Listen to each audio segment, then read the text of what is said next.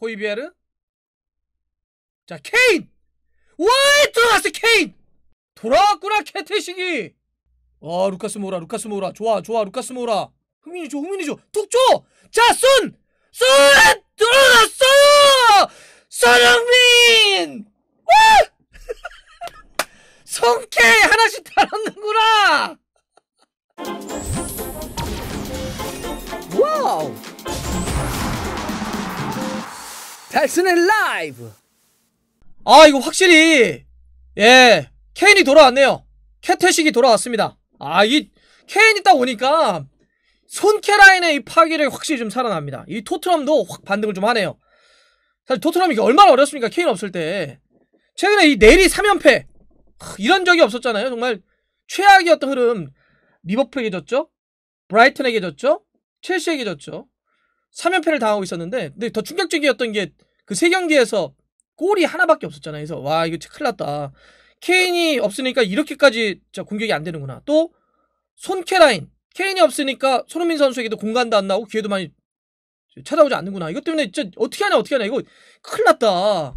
에? 예? 토트넘도 순위도 막 밑에까지 완전 내려가 버렸고 무리뉴 감독도 이다 큰일 나는 거 아니야? 막 경질설 이런 것도 좀 나왔었는데 케인이 딱 보니까 확실히 그냥 다른 팀이 완전 돼버립니다. 예.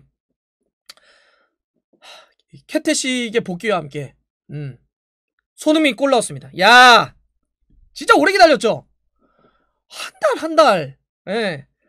1월, 현지 시간으로 1월 2일날 리즈와의 프리미어리그 때 골 넣었고, 이어졌던 1월 5일날 리그컵 브랜드포드와의 경기 때 골을 넣었어요. 그리고는 이제 골이 없었잖아요. 모든 공식 경기 다 합치면은 6경기에서 골이 없었고요. 프리미어리그만 따졌을 때는 5경기 동안 골이 없었습니다. 그러다 이번에 골을 딱 맞는 거죠. 아, 내 골 진짜 58분에 네, 이제 1대 0으로 앞서 있는 그런 상황이었는데 팀의 두 번째 골. 케인이 딱 뒷점 만들자. 아, 케인 진짜 대박입니다. 이 선수 진짜 왜 에이스 에이스 하는지 알겠네요. 이제 웨스브롬이 막 공격하려고 하는 그런 상황에서 볼을 뺏어가지고 케인이 기점을 딱 만들어가지고 루카스 모우라에게 주죠. 진짜 그 네, counter attack의 뭐 정석이죠. 그냥 케인이 딱 볼 주고 루카스 모우라 연결 루카스 모우라 막 달리기를 막막 합니다. 그러니까 이, 쪽 옆에서 손흥민도 함께 뛰기 시작하죠. 엄청난 속도로 막 달리죠. 다가 이제 루카스 모레 딱 주니까 손흥민 선수가 오른발로 잡아가지고 갖다 그냥 확 때렸는데 임팩트 골키퍼가 손 닿았지만 그냥 맞고 굴절에 들어갔습니다. 네. 아, 잘 넣었죠, 잘 넣었죠. 예, 네. 아, 정말 오래 기다렸습니다. 이게 진짜 요새 그 현재수 그런 평가를 했는데 지난번에 가디언도 그랬고 아마 BBC도 그런 얘기 했던 것 같은데 손흥민 선수가 뭐 케인이 없어서 어, 공간이 없고 슈팅 기회가 줄어든 것도 문제지만 자꾸 골을 못 넣으니까 자신감이 좀 떨어져 보이더라 뭐 이런 이야기들이 계속 나왔었잖아요.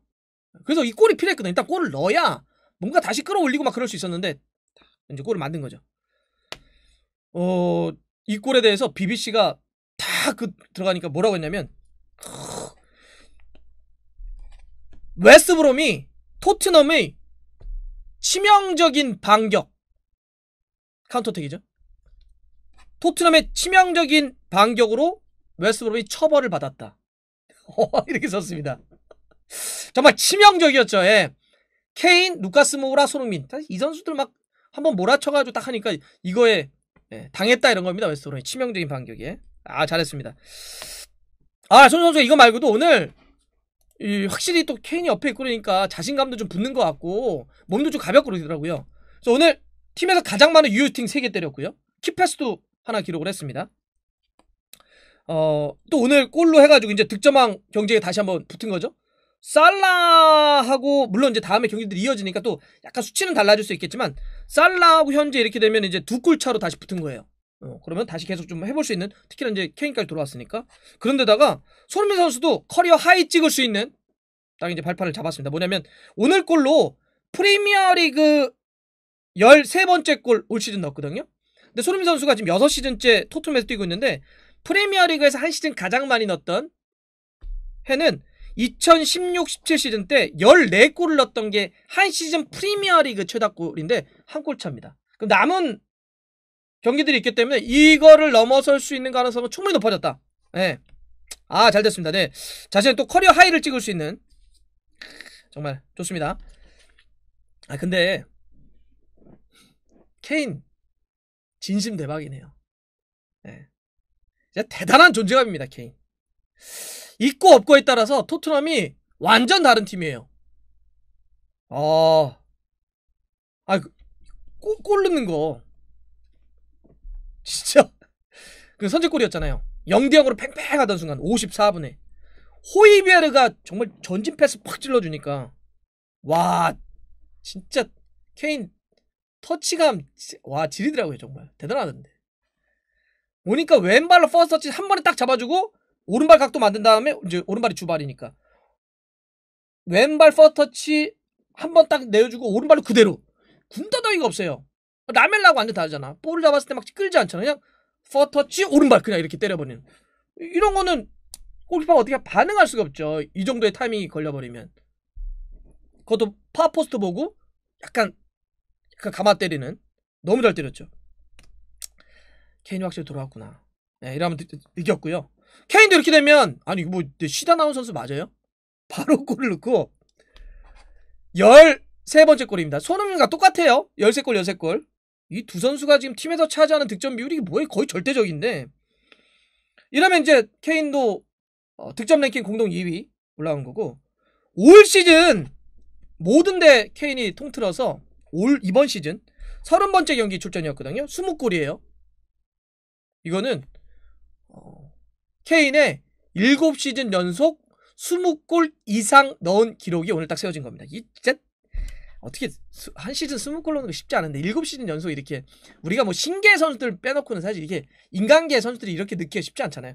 케인은 확실히 최고의 선수이긴 합니다. 그리고 또 하나 케인이 토트넘 통산 오늘이 317번째 경기였는데 거기서 208번째 골 넣은 거예요. 아니 뛴 경기 수만큼 비슷하게 골을 넣고 있는 것 같은데 이거는 어, 토트넘의 전설인 보비 스미스와 딱 같습니다. 뛴 경기 숫자와 골 수가 같아요. 이거 되게 독특한 그런 건데 그래서 토트넘의 그 오랜 역사 100년이 넘는 역사에서 모든 역사를 통틀었을 때 두 번째로 골을 많이 넣은 선수가 해리 케인이 됐습니다. 뭐 가장 골을 많이 넣은 선수는 역시 토트넘의 뭐 레전설이죠. 지미 그리브스. 네, 1960년 70년대 활약을 했던 이건 깨지가 어려워요. 266골을 넣었거든요. 이건 케인이 어 아니다. 케인이 이, 이거 이 페이스로 한 4시즌 연속 더 3시즌 정도 뛰면 이것도 깨겠네요. 여하튼 뭐 대단합니다. 근데 진짜 케인이 더 놀라운 건 이런 것 같아요. 케인은 아 이 회복력 뭐예요 진짜? 이게 이게 사람의 회복력 맞습니까? 이게 말이 안 되는데 1월 29일에 리버풀 경기에서 이제 부상당했잖아요. 양쪽 발목 전반전에. 그래서 후반 시작하면서 나갔단 말이에요. 그리고 나갔을 때만 하더라도 양쪽 발목을 다 다쳤기 때문에 뭐 이거 굉장히 길어질 수도 있다. 그러다가 아 근데 조금 상황이 좋은 것 같아서 한 그래 진짜 빨리 하면 2주 걸릴 것 같다 이런 얘기도 있었어요. 오늘 일주일 만에 복귀한 거거든요. 물론 일주일 살짝 넘긴 하지만 대략 한 일주일 만에 이게 이게 이게 맞습니까? 사람 맞습니까 이게? 브라이튼 경기, 첼시 경기 두 경기만 결정한 거예요. 그러니까 진짜 빨리 복귀하면 2주 만에 복귀 한다 그러더니 두 경기 만에 복귀를 한 거네요. 이런 기적의 치료법, 기적의 회복력 이게 뭔지. 아니 이게 우리가 일반적으로는 다쳤기 때문에 치료를 한 다음에 부상 부위를 치료하고 몸이 나으면 뛸 수 있는 실전 체력이나 재활을 통해서 운동을 할수 있는 몸을 만드는 치료와 재활. 그러니까 아무리 빨라도 일주일 일주일만 잡아도 2주잖아요. 그게 그 기적의 회복력이 있다고 하더라도 그게 2주인데 이렇게 나온다는 자체가 진짜 와, 예, 네, 진짜 놀랍습니다. 이건 진심으로 놀랍습니다. 예전에 질라탄이 다쳤다가 굉장히 빨리 복귀한 다음에 잘 그랬잖아요. 네. 사자는 인간처럼 회복하지 않는다. 그 사자는 어, 사람들하고 달라. 인간하고 달라. 엄청 빨리 복귀해. 이런 이, 이런 정도의 부상은 뭐 그냥 아무것도 아니 이런 이런 게 있었는데 케인도 이 정도면 사자가 아닐까 좀 싶기도 하고요. 아, 더 놀라운 거. 그래 놓고서 90분 풀타임 뛰어요. 이 친구 진짜. 아니, 그래 놓고서 90분 풀타임 뛰면 어떻게 해? 아, 케인의 엄마가 즐라탄입니까? 무슨 말도 안 되는 소리를. 아니 원래 부상당했다가 이제 돌아오면 몸을 서서히 만들어야 되니까 뭐 한 후반 한 15분 정도 뛰게 하고 그 다음 번 경기는 뭐 한 30분이나 한 45분 뛰게 하고 이러면서 이렇게 해서 선발을 복귀시키는 거 아니에요? 근데 이 친구는 그냥 선발이더니 그것도 교체도 안 하고 풀타임 뛰어. 그더니 골도 넣어. 음.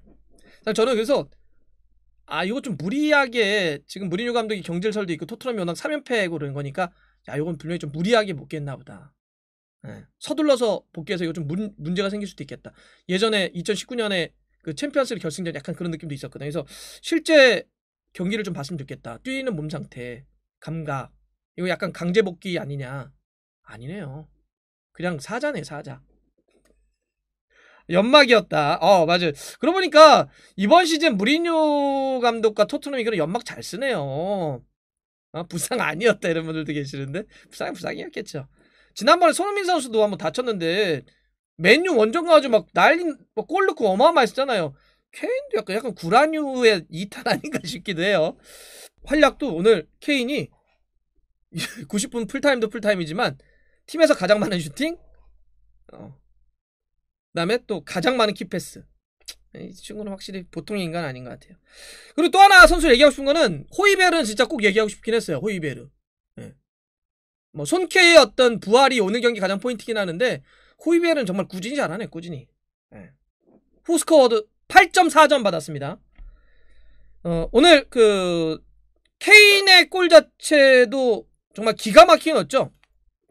어시스트를. 그때 했을 때 호이비에르 딱 연결하고 케인이 마무리했을 때 BBC에서 뭐, 무슨 얘기를 했냐면 케인에 대해서 역시 토트넘의 돌파구다. 그러면서 이제 호이비에르에게 그렇게 얘기합니다. 호이비에르. 호이비에르가 잉글랜드 캡틴을 찾기 위해서 바늘 구멍과 같은 그 좁은 공간을 찾아서 공, 을 찔러 주었다 이렇게 얘기를 해요. 네. 그래서 케인이 한 번의 터치와 한 번의 컨트롤로 슈팅을 때려서 골을 넣었다 이런 얘기를 했는데 호, 이베르가 정말 어시스트 자체도 좋았는데 그거 말고도 팀에서 가장 많은 터치, 최다 터치, 최다 패스, 최다 가로채기, 최다 태클 네. 가운데서 이렇게 잡아주니까 앞쪽에 있는 소름이가 케인이 당연히 살아나는 거죠. 이런 의미에서 지금 최고 평점을 후스코는 줬고요. 평점 보니까 손흥민 선수가 공격수 중에서는 평점이 제일 높습니다. 7.8점. 케인이 7.6점을 좀 받았습니다. 오늘 또 이게 이렇게 케인이 복귀하면서 토트넘이 이제는 어, 그렇게까지 내려서지 않는 수비 축구하지 않는 공격적으로 싸우는 이런 모습을 보여줬는데요. 네, 역시 케인이 중요합니다. 그래 손, 손흥민도 살아나고 그래야 팀도 이제 지긋지긋한 수비 축구 안 하죠. 제가 오늘 경기의 전체 heat map 보여드릴게요. 자, 어 케인 없을 때 토트넘과 있을 때 토트넘이 얼마나 다른지 여러분들 보실 때 왼쪽이 토트넘이고요. 오른쪽이 웨스트 브롬입니다. 음. 많이 달라졌죠. 우리 제가 경기 끝나면 최근에 이 히트맵을 많이 보여드렸었는데 저렇게 박스 쪽에 선수별로 없고 거의 하프라인 기준으로 밑에만 있었던 팀이 토트넘이었잖아요. 예. 오늘은 케인이 돌아오니까 바로 왼쪽에 토트넘 저런 히트맵이 나옵니다. 뭐 저렇게 올라가야죠.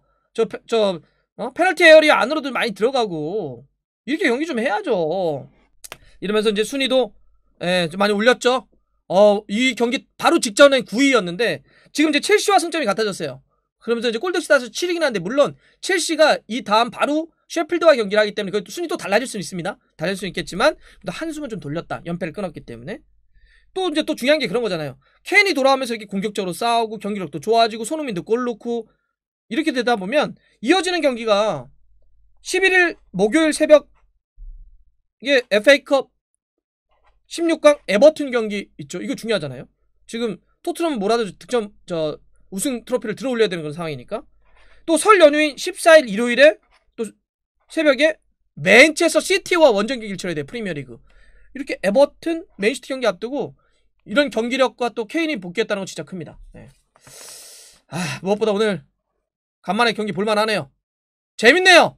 네, 이렇게만 경기했으면 좋겠습니다.